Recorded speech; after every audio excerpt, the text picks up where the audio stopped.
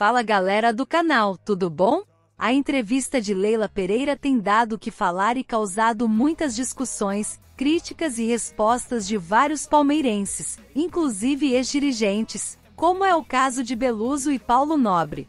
Este último, até escreveu uma carta aberta para rebater todas as falas que discordou da entrevista concedida pela atual presidente e também dona da marca patrocinadora. Paulo Nobre questionou a dirigente e mencionou que a mesma pouco conhece a história do clube. Além disso, Nobre chamou a atual dirigente de arrogante e soberba. O ex-dirigente, assim como grande parte da torcida alviverde, se revoltou com a entrevista dada pela dona da Crefisa, que vem vivendo uma grande crise com a principal organizada, a Mancha Verde.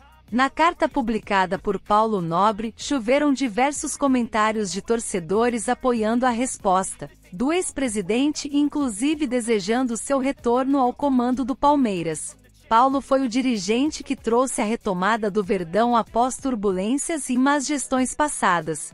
Com a sua excelente passagem, o torcedor até hoje deseja que o mesmo retorne ao comando. Agora, diante da crise envolvendo diretoria e torcida, grande parte dos palmeirenses pedem a saída de Leila Pereira. A carta publicada nas redes sociais teve diversos comentários a favor de Nobre.